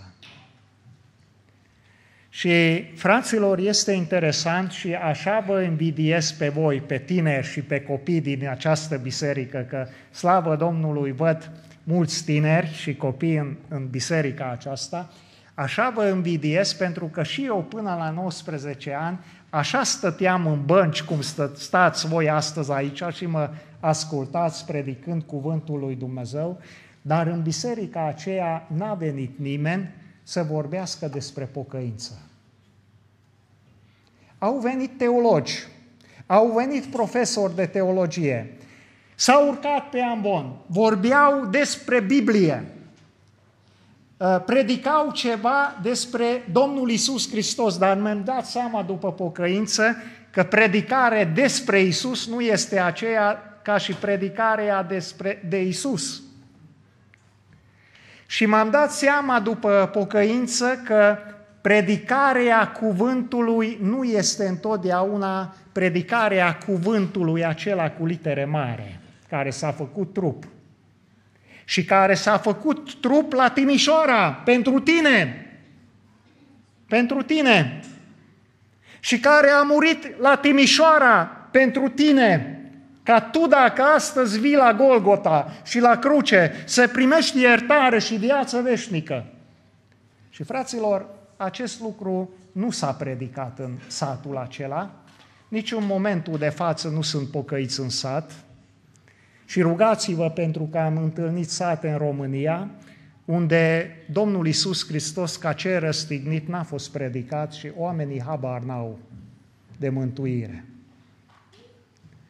Și fraților, la 16 ani mi-a venit dorul acesta în viața mea să mă fac preot, am început să învăț și pentru că pot, pot să învăț Biblia pe din afară și dogmele, am intrat la teologie la facultate pe acele două locuri și am început să învăț și am terminat medi- ă, teologia cu media 975. Asta este nota trecut pe diploma de stat de teologie al meu. Și pentru că în vremea când am terminat facultatea, episcopul Ardealului Ciho Calman căuta un om de mâna dreaptă care să fie și redactor pentru un ziar pentru preoți din Transilvania, doi profesori de teologie și rectorul universității a recomandat că Micloș va fi cel mai bun pentru acest post. Și așa am ajuns secretar de episcop. Ar merita și o predică, dar nu intru. De ce nu m-am pocăit lângă episcop? Timp de doi ani. Și fraților, am terminat teologia unde, cum am spus, am auzit și am învățat multe, numai de mântuire nu s-a vorbit acolo. Și am ajuns să fiu uh, preot la una din cea mai mare și puternică biserică maghiară din Transilvania, și în biserica aceasta totul mergea strună. Satul me chema ca preot niciun vot împotrivă, nu era din 1100 de membri. M-am dus în biserica aceasta și biserica aceasta, cum la Odicea, părăsind pe Dumnezeu, ce s-a întâmplat? S-a îmbogățit. Nu vedeți ce în lume. Ăia care părăsesc pe Dumnezeu se îmbogățesc. Dar ce vor face la judecata de apoi? Asta este o altă întrebare. Și ce binecuvântare vor avea peste averea lor. Și totul mergea strună, fraților, la o adunare, venea 450 de oameni. Nu puteam să intru la biserică. Uh, la studiul biblic, după Revoluție, veneau 80 de tineri vineri seara când era cele mai bune filme. Și soția care este cantor calificat la biserică, uh, cu o diplomă renumită, se ocupa de 130 de copii, cânta în cor în seara de Crăciun și la ziua mamelor, deci veneau copiii. Și fraților, într-un an s-a ridicat un centru de conferință pentru 150 de persoane. Cazare, masă, conferință, tot. Și fraților, eram invidiat, deja colegii spuneau că dacă vor veni alegerile de protopop, mă vor alege ca protopop. Ei, fraților, de când m-am pocăit, nimeni n-a mai făcut oferta asta. Însă a făcut Dumnezeu o alte oferte, de aceea sunt cu voi în seara aceasta aici, slăvit să fie El. Și, fraților, totul mergea bine, dar știți, Iisus Hristos spune o întrebare în Biblie și întrebarea este, sună așa, și ce folosește unui om dacă câștigă toată lumea, dar în înlăuntru său era pierdut. Este pierdut. Și știți cum traduce limba greacă acest verset din Biblie? Exact așa, cât costă, ce valoare are un om dacă câștigă totul, vile, Mercedesuri, mașini, conturi la bănci, averi, și el este pierdut. La ce folos e biserica plină? Dacă ești pierdut. Dacă, la ce folos este că te invidiază toți oamenii și tu știi că ești pierdut? Ce valoare are? Și fraților, de atunci Așa îmi place întâmplarea aceea din Biblie când ucenicii starurile, cele șapte apostoli de bază, lângă lacul Tiberiadei, după o seară nereușită, întâlnesc pe Domnul Isus și Domnul Isus Hristos spune întrebarea copilașilor, aveți ceva de mâncare? Și fraților, vreau să știți că Isus acolo nu se interesează de ăsta că Petre a mâncat cartofi prăjiți cu sarmale, sau chiftele, sau mici, sau pește, ci se interesează de asta. Petru, ești fericit. Ioan, de aici din biserică, tu ești împlinit. Voi sunteți mulțumiți aici de binecuvântarea lui Dumnezeu. Ioan, ai pace acasă? Și vine răspunsul, Doamne Iisuse, noi n-avem. Și Domnul Iisus Hristos acolo nu pune întrebarea, vă întreb eu astăzi aici, de ce n-aveți? Și răspunsul este acela, pentru că putem să fim toți la oaltă, dacă tu nu ești prezent aici cu noi. Fraților, nu are niciun sens dacă noi ne adunăm aici și Isus nu este printre noi. Rezultatul e zero. Și fraților, vă spun, care nu v-ați pocăit, oricând tragi mreaja afară, și la 40 de ani, și la 60, și la 20, fără Isus vei ajunge că rezultatul este zero. Doamne, toate viața am fugit, am muncit, am trudit, am vrut binele și trag mraja și rezultatul fără Tine, Doamne, este zero. Când apare Domnul Isus Hristos și ei trag mreaja, este, este interesant, e trecut acolo că a fost 153 de pești. Știți ce, ce înseamnă 153 tradus din limba greacă? 153 în limba română este egal mai mult nu se putea. De aceea scrie Biblia că nu s-a rupt mreaja. Dacă eu aș fi avut un pește al 154-lea, cât ăsta, și aș fi vrut să bag acolo în mreajă, nu intra. Știți de ce? Pentru că David, el era singur care s-a așezat în biserică jos la podea să vorbească cu Domnul și zice David, Doamne, dar ce ar putea să adaugă David lângă acela care ai făcut Tu cu mine și cu casa mea? Ce ai putea tu adăuga 154-lea pește în mreaja care îți dă Domnul Isus Hristos? Așa este viața cu Isus, plin. Plin, fraților. Întotdeauna în biserici întreb pe băieți de ce să apucă Maradona de droguri. Întreb fetele din biserica aceasta, Elizabeth Taylor, mare stea de la Hollywood, de ce se căsătorește fetele a noua oară? A noua oară. Ștefi Graf, mare stea de la Roland Garros, de ce își ștaie benele? Cu vilele în California, cu conturile în Elveția și vă întreb de ce nu vă arate pe Michael Jackson de la cap, de la gât în jos?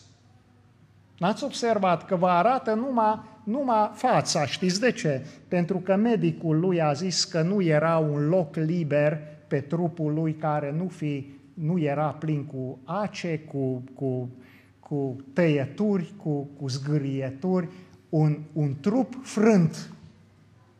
Un trup frânt, dar nu vă arată, vă arată numai strălucirea. Și de ce a ieșit Ministerul Finanțelor din Ierihon numit Zacheu, care era mai marele bameșilor să vadă un om de sculț trecând prin Iericon. Ce l-a scos? Ați auzit voi de golul în, lă, în lăuntru vostru. Știți ce înseamnă gol înăuntru? Și fraților, pentru că la 30 de ani eu am avut o viață împlinită pe din afară, și gol înăuntru, numesc viața aceasta viață schizofrenă. Ești, pari unul afară, dar ca și muntele de mizerie din Serbia, e altceva înăuntru. Și fraților, odată am auzit o predică care spunea că cu ochii tăi te poți uita în două direcții, așa, și până la 30 de ani cu ochii m-am uitat așa, și te poți uita așa înăuntru. Și a venit o seară de februarie în viața mea ca preot, deja eram preot șase ani, în care am uitat așa și ce am văzut n-am mai putut suporta. Te întreb, mai poți suporta viața schizofrenă, unul afară și altul înăuntru? Și fraților, în seara aceea, eu am luat un țăruș de lemn și un topor, am ieșit în grădina bisericii și în iarbă verde am bătut sărușul pentru loc de veci. Am intrat în casa parohială în birou, am închis ușa și în patru rânduri am rezolvat viața, am scris prezbiterilor cum să mă mormânteze. Și mai aveam doar un singur lucru, să iau familia, să-l duc acasă în casa natală în siguranță și eram hotărât că mă bag sub un tir cu trabantul și cu ăsta s-a terminat viața schizofrenie. Acum patru ani, televiziunea română din București a făcut un film cu noi, cu mine și cu soția, Primele 50 de minute este mărturia noastră cum ne-am pocăit. Al doilea 50 de minute este prigonirea noastră, condamnarea noastră pentru credință și este misiunea printre români, cum s-a deschis poarta. Și când am ajuns la momentul ăsta, fratele Iacob Bergheanu, care conducea emisiunea, s-a uitat la mine și a pus întrebarea, frate Micloș, dar nu te-ai gândit că dacă te sinucizi vei merge în ea direct? Și fraților am dat-o un răspuns groaznic. Frate Iacov, în seara aceea și iadul părea mai bun decât viața asta pe pământ, sus, împlinit, realizat, cu o soție frumoasă, cu copilași frumoși, cu carnet de muncă, cu haine de preot, cu biserică pline, cu realizări, cu invidie, dar fără Isus. Frate, nu te invidiezi dacă ești bogat și ai totul, dar nu-l ai pe el. În seara aceea n-am mai putut suporta starea fără Isus, starea aceea fără Dumnezeu. Și fraților, am urcat în mașină, am pornit la drum. Nu vreau pentru nimeni drumul acela, la fiecare tir care venea din față venea o voce, pentru că într-o seară îți va porunci ca lui Irod taieți capul lui Ioan Botezătorul, acela cu ești, cui aparții. Și venea vocea, trage volanul și intră acum. Și când eram gata să trag volanul, venea o altă voce, dar nenorocitul în spate e soția și cele două fetițe. Vrei ca și ei să meargă cu tine? Și fraților, în lupta aceasta, Mașina mergea și se oprise în fața unei case de rugăciune ca aceasta, unde luni seara se începea evangelizarea. Și ne-am băgat în casa aceea de rugăciune, în ultima bancă, nu ne cunoștea nimeni. Și în seara aceea Dumnezeu a trimis acolo un preot reformat care avea cancer. Cancer de linfom și mărturisea că peste câteva zile el va muri. Nu mai are, doar zile de trăit. Și mărturisea că în urmă cu 22 de ani, la 40 de ani, el era un preot bețiv. Urca la ambon curat, dar când s-a dus jos, a coborât de la ambon, a intrat la parochie, a închis ușa și dă drumul. Numai soția știa, soția era să se nebunească lângă el, lângă el cu cine s-a căsătorit el. Și la 40 de ani, zice, cineva s-a îndurat de mine și mi-a schimbat viața. Pentru prima oară la 30 de ani auzeam mărturie de pocăință, fraților. Eu vedeam la teologie că unii studenți sunt alți, dar mărturie n-a zis nimeni nimic. Eu credeam că așa e obiceiul în biserica lor. Ăsta e mentalitatea, așa e sufletul oamenilor acolo. Nimeni n-a venit să-mi spune, Micloș, e o schimbare. Te poți întâlni cu acest Dumnezeu. Este o schimbare de naștere din nou. Nu mi-a spus nimeni, era prima oară la 30 de ani când auzeam mărturie, fraților. Voi credeți că toți din România au Biblie? Uitați-vă treaba asta, că toți știu de Dumnezeu, nu e așa. E nevoie de voi ca să mergeți și spuneți până când e ziua oamenilor de schimbarea voastră și dacă 999 vă împing, dar unul să mântuiește, merită? Merită, fraților! Merită! merită că rușinea crucii este puterea lui Dumnezeu, fraților. Și slăbiciunea crucii, prin ăsta noi am fost izbăviți și vindecați. Și fraților, în seara aceasta, omul a început să vorbească despre o tron de har și de îndurare a lui Dumnezeu, despre o cruce sângeroasă și mie, nenorocitului din ultima bancă, în biserică s-a ridicat crucea. Am văzut pe el suferind pe cruce și am văzut la predică, el predica, dar au dispărut oamenii, au dispărut, a dispărut el. Era acolo, dar nu era. Venea doar o voce, dar simțeam că nu mai e voce de om. Omul ăsta care va muri peste câteva zile e doar vasul lui Dumnezeu. Folosește Dumnezeu și mă cheamă pe mine specialist în teologie cu media 975 din ultima bancă pierdut. Micloș, hai vine, predetă, hai, vino acum la mântuire, acum e momentul.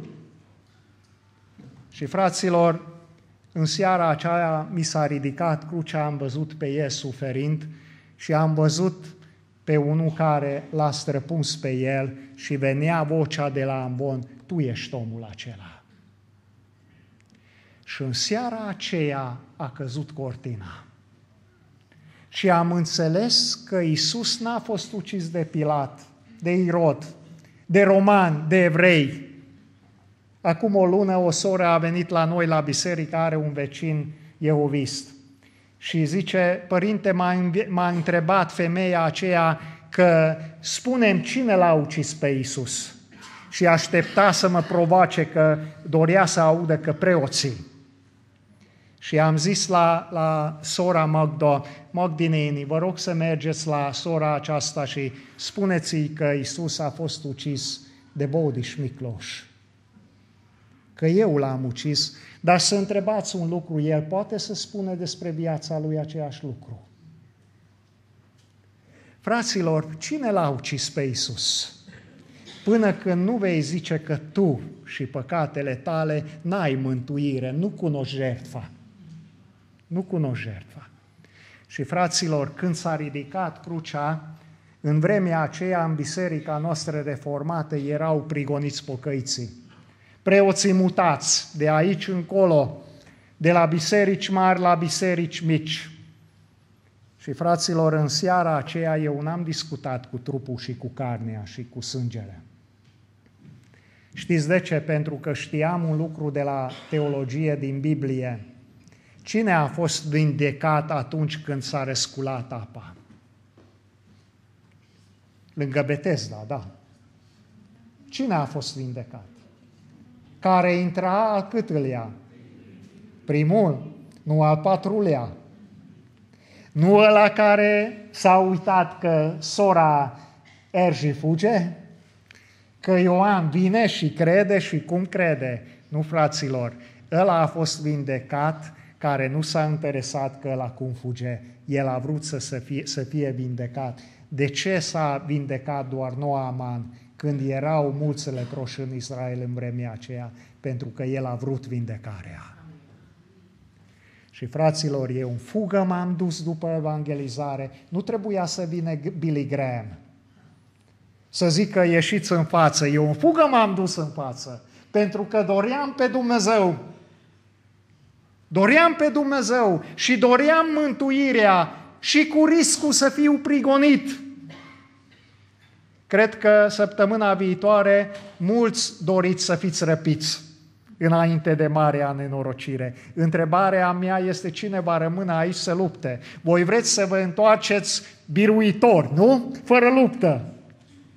Dacă ne doare cine, ceva după 5 minute, am zis unui frate, ia algocalminul. Noi nu mai vrem să suferim nici 5 minute, nici o jumătate de oră. Dacă ne doare undeva, imediat pastile. Fraților, dorește cineva să sufere aici în biserica asta pentru Isus? Pentru Isus. Sau Isus a murit, mersi, bine, să trăiesc o viață de rai aici pe pământ. Dar nu e așa. Nu e așa.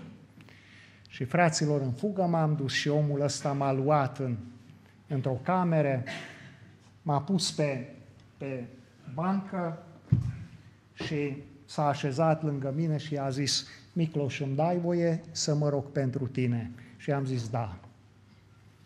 Și el a început să se roage pentru mine să mă ducă în fața tronului de har și de îndurare și apoi s-a uitat la mine și a pus întrebarea, dar tu ai vrea să te rogi pentru tine? Și din bancă am căzut în genunchi. Și am rostit trei cuvinte, Doamne, am stricat viața. M-am dus după capul meu așa cum credeam eu și uite am ajuns la capăt. Nu mai pot. Dar dacă tu mai poți ceva să faci cu viața mea, te rog, ai milă de mine. Și fraților, m-am ridicat de lângă pat, având de ceea ce strălucea la el, obrajii și ardea ochii de bucurie și mergea să moară. Și eu eram acolo la 30 de ani sănătos, realizat, cu familie frumoasă, totul împlinit și nu aveam fericire. Și în momentul acela am căpătat diferența, viața veșnică.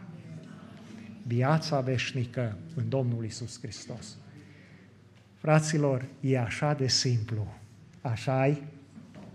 De, acea, de aceea nu se pocăiesc în secuime, pentru că ei au așa minte mai încurcată, ei cred că ceva trebuie mai, mai sofisticat. E așa de simplu, trebuie să te oprești și doar să zici lui Isus, Isuse, primește-mă și pe mine.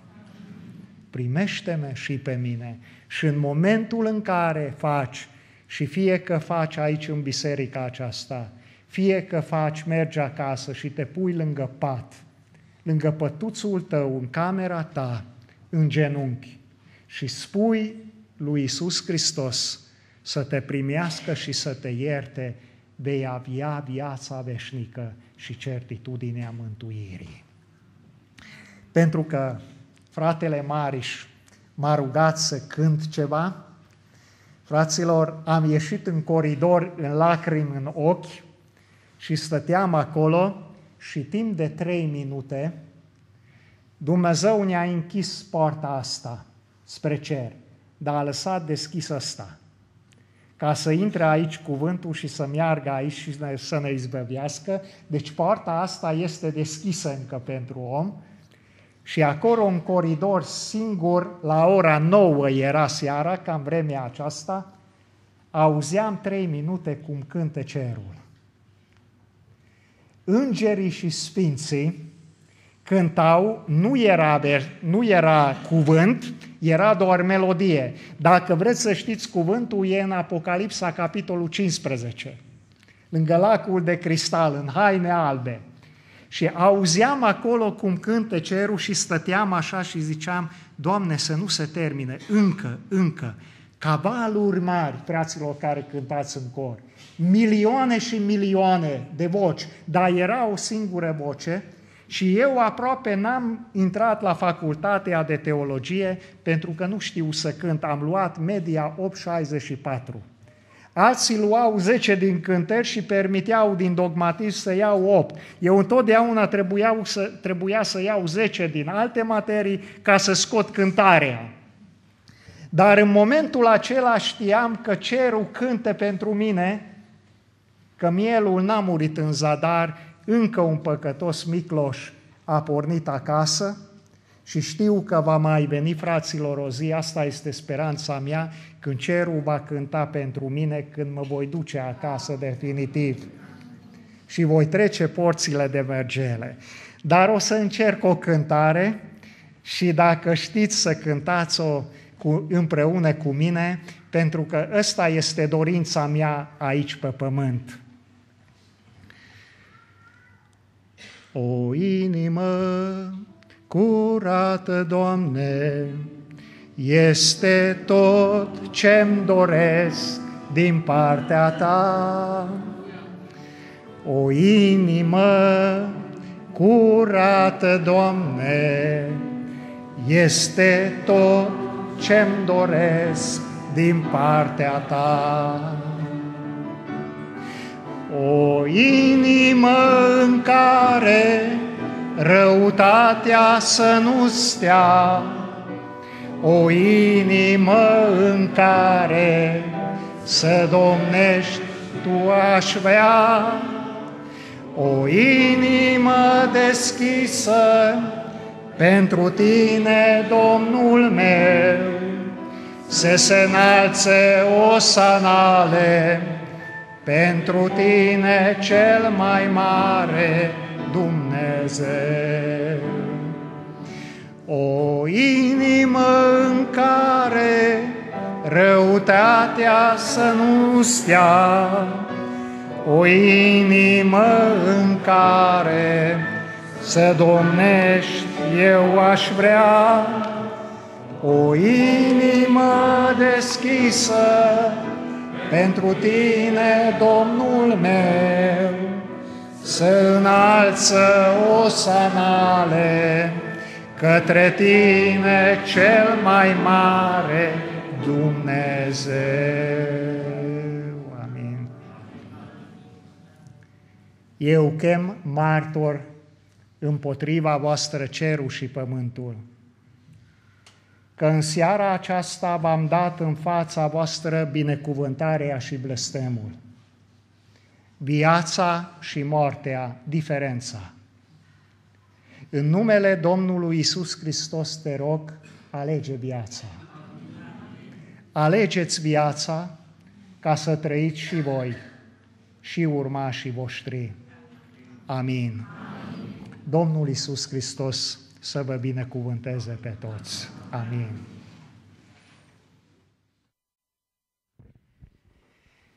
Haideți să răspundem acestei chemări din partea Domnului care ne-a fost adresată cu atâta gingășie prin cuvintele cântării cunoscute de toți. Iisuse, dintre toți te aleg mereu, în orice zi, în orice clipă, că Tu ești viața sufletului meu și harul care mă ridică. Haideți să cântăm cântarea aceasta în de rugăciune, fiecare cu capul plecat înaintea Domnului.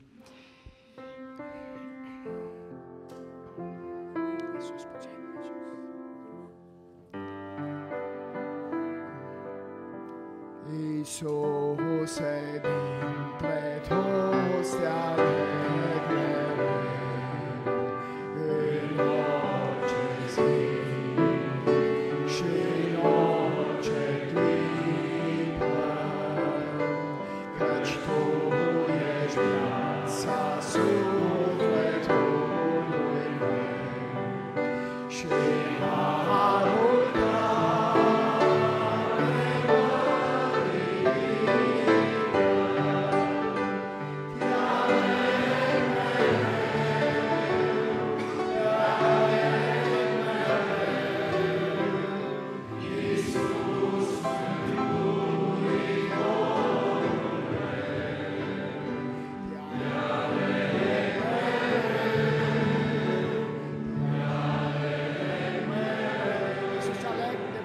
plin cărarea ta. Iisus aleg de plin cărarea ta.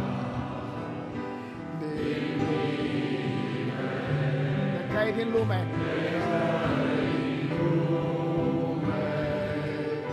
Și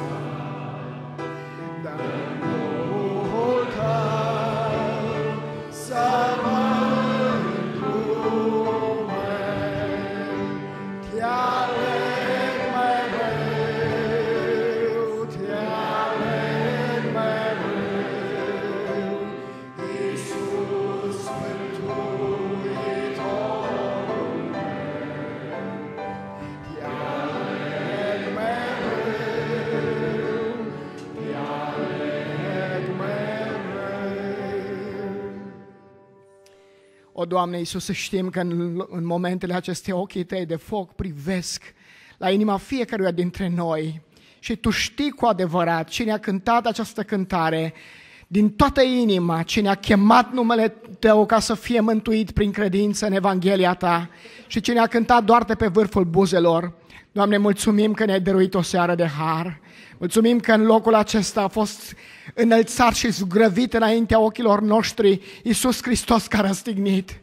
Mulțumim că acest Iisus Hristos care l-a izbăvit din buza prăpastie și a iadului pe fratele Micloș este același Iisus Hristos care se poate apropia de fiecare suflet care este aici.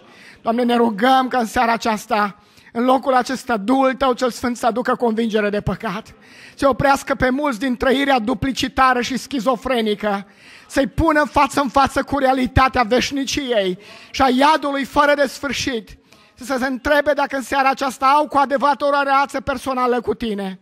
Doamne, ajută să vadă diferența dintre ce înseamnă o viață trăită în religie bazat pe meritele personale și o viață trăită cu Hristos. Mulțumim pentru robul Tău de care Te-ai folosit. Doamne, am fost binecuvântați să ascultăm mărturie extraordinară a fratului nostru. Ne rugăm din toată inima să-l binecuvintez. Ne rugăm să-i binecuvintez familia. Ne rugăm să-i binecuvintez lucrarea. Ne rugăm să-l folosești cu putere, Doamne, începând cu seara aceasta, în această toamnă, și să-i dăruiești un seceriș bogat de suflete. Ne rugăm să-i dăruiești sănătate și putere în trupul lui. Ne rugăm să spui mâna ta peste el și să-i faci parte de ungerea proaspătă a Duhului tău cel Sfânt și să folosești, Doamne, slujirea Lui pentru a atinge multe suflete. Doamne, mărturisim înaintea Ta cu rușine că ne-am dorit trezire spirituală. Te-am rugat de atâtea ori pentru trezire spirituală, dar motivul pentru care știm că această trezire întârzie să vină este că noi, pocăiții, cei care spunem că te cunoaștem, de atâtea ori suntem așa de goi și de seci, pentru că inima noastră este împărțită între tine și lumea aceasta, Doamne, dă-ne putere în această seară să ne pocăim. Ajută-ne să înțelegem că prietenia cu lumea este vrăjmășie cu Dumnezeu. Doamne, Tu cel care cunoști starea fiecăruia dintre noi, Tu cel ce te-ai apropiat și de biserică de la Odiseea cu oferta Ta, ajută-ne să primim în această seară oferta pe care Tu ne-o dai. Doamne, vrem să venim la Tine să ne dai alifie de ochi ca să vedem. Vrem să venim la Tine să ne dai aur curățit prin foc. Vrem să venim la Tine să ne curățești încă o dată haina care a fost pătată în contactul cu lumea aceasta. În seara aceasta ne rugăm să cercetezi poporul tău din locul acesta.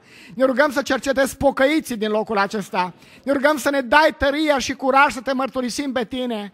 Doamne, o lume așteaptă să audă mesajul. Sunt oameni care sunt la capătul puterilor și au nevoie să audă vestea bună. Dăruiește-ne puterea ca unii care am gustat cât de bun ești tu, să le spunem și lor despre tine. Dar în seara aceasta ne rugăm pentru copiii pocăiților. Ne rugăm pentru cei care au crescut în această adunare.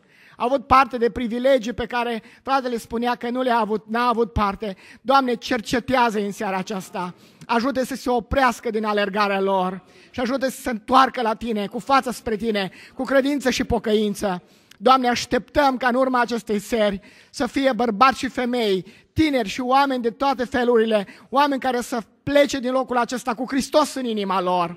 Îi așteptăm să vină în continuare și să caute fața ta. Și în locul acesta împreună să te lăudăm pe tine. Pentru că ești Dumnezeul glorios și minunat. Doamne, mulțumim pentru harul tău care ne este de ajuns. În brațul harului tău ne încredințăm acum la despărțire. Și vrem ca harul Domnului Isus Hristos, iubirea Tatălui Ceresc și împărtășirea Duhului Sfânt să fie și să rămână cu noi, cu fratele nostru și cu toți scumpărații tăi, și acum și până în ziua veșniciei. Amin.